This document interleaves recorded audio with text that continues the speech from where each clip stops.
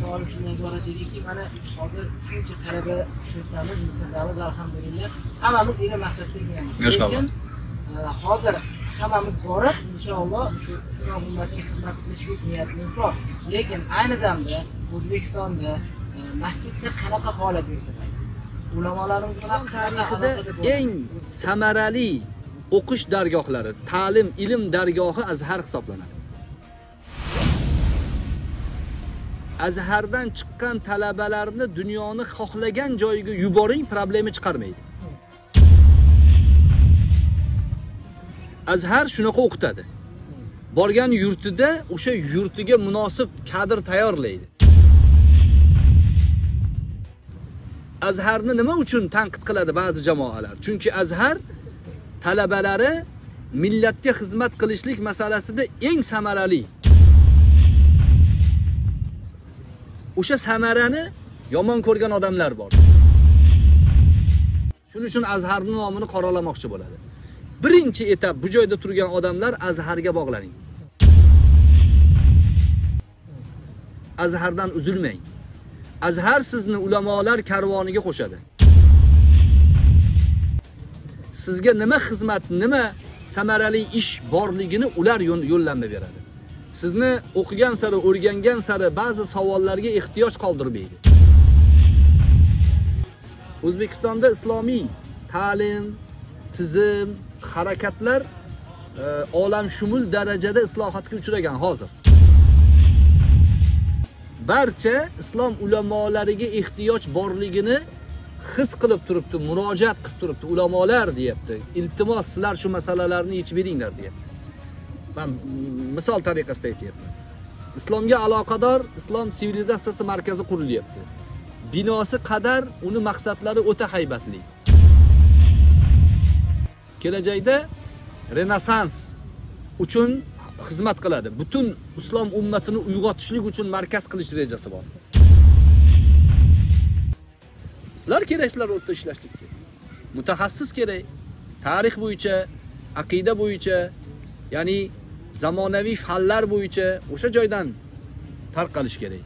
Maturidiy markazi hadis markazi samarqandda hadis markazi ochildi. Misrdan ulamolar borib o'qityapti. Maqsadlari ozgina odam qabul qilishgan lekin maqsadlari buxoriyni sahihlarini yodlatib hamma sharhlarni o'qitib o'rgatib hadis desa o'shalarga murojaat qiladigan qilinmoqchi. Unga mutaxassis kerak. Siz borsangiz bu odamlar borsa siz o'zingizni o'rningizni pozitsiyangizni ko'rsata bilsangiz ummat sizga ehtiyojini ko'rsatadi. Na go'sht na baliq bo'lmasdan bu joyda na bir madrasani o'qimaydi na bir e, o'qiganlarni orqasidan yurmaydi lekin ayni Alloh deb savol beradi.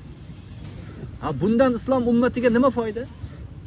Buni gapirsak bizni ixtilofchi qilib targ'ib qilishyapti. Yo'q ixtilofchi emas. Unga aytyapmiz san birodarimizsan. Yo o'qi g'oziy bo'l yoki shahid bo'l. O'rtada qolib ketma man majoz ma'nosida aytyapman. Ular nima xohlashadi? Ham shahid bo'lib ham tirik qolmoqchi bo'ladi. Uni iloji yo'q. Shuning uchun o'zbekistondagi e, bo'lsin qozog'iston qirg'iziston turkmaniston tojikiston bo'lsin hamma joyini o'zini tarozisi bor. O'sha tarozuni qo'lingizga chiroyli suratda ko'rsatib beradigan markaz misrda al azhar azharga bog'laning va azhardan e, uzilmang imkon qadar qancha imkoniyatingiz bor taxassusni egallang yurtingizga qaytib borganda hozir meni bilishimcha azharni diplomi mubodala qilinyapti bizda ya'ni sizni kim ekaningiz nima ekanligingizdan shubha bo'lmaydi. Azharga bog'lanmaganlarni e, juda ko'pchiligi o'ziga foyda berish u yoqda tursin boshqaga foyda bera olmaydi. U boshqaga foyda berish u yoqda tursin o'ziga zarar beradi majbur bo'ladi o'zini yurtiga bora olmaydi bu joyda qola olmaydi. Nima bo'ladi? Majburan uchinchi yurtga boradi. Uchinchi yurtda siyosiy odamlarni qo'liga tushsa unga darnaqqa berishadi. Uni nomini chiroyli qilib oldiga shayx qo'yib berishadi. Xohlagan buyurtmalarni gapirtirishadi va o'sha oqibatida islom ummatida faqat virus tarqatiladi. Qatlga jinoyatga islom ummatining orasidagi nafratga o'shalar xizmat qiladi.